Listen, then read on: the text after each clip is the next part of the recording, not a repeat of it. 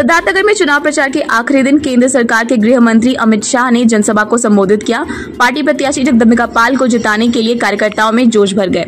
जनसभा के दौरान केंद्रीय राज्य मंत्री B L Verma, BJP Gorakhpur की क्षेत्रीय अध्यक्ष सहजानंद राय, सांसद जगदम्बिका पाल, विधायक जयप्रताप सिंह, विधायक श्याम धनी राही, विधायक विनय वर्मा, भाजपा जिलाध्यक्ष कन्हैया पासवान मौजूद रहे। गृह मंत्री अमित शाह ने कहा कि पाँच चरण के चुनाव में भाजपा 310 सीट लगभग पार कर चुकी है। इंडिया एयरलाइंस आरक्षण पर डाका डालने का काम कर रही है भाइयों बहनों, पाँच चरण समाप्त हो गए। आपकी छठे में बारी है। पाँच का परिणाम सुनना है क्या? सुन लो डुमरियागंज वालों। पाँच चरण में मोदी जी 310 पार कर गए हैं। पार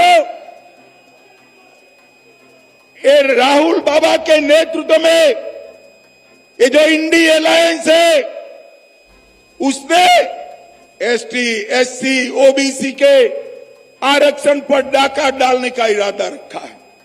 कल ही बंगाल की हाईकोर्ट में एक फैसला आया। ओबीसी की लिस्ट में पिछड़ा वर्ग की लिस्ट में अति पिछड़ा की लिस्ट में बंगाल सरकार ने 180 मुस्लिम जातियों को डाल दिया। और हमारे पिछड़े वर्ग का आरक्षण का अधिकार मुसलमानों को देने का काम किया। भाइयों बहनों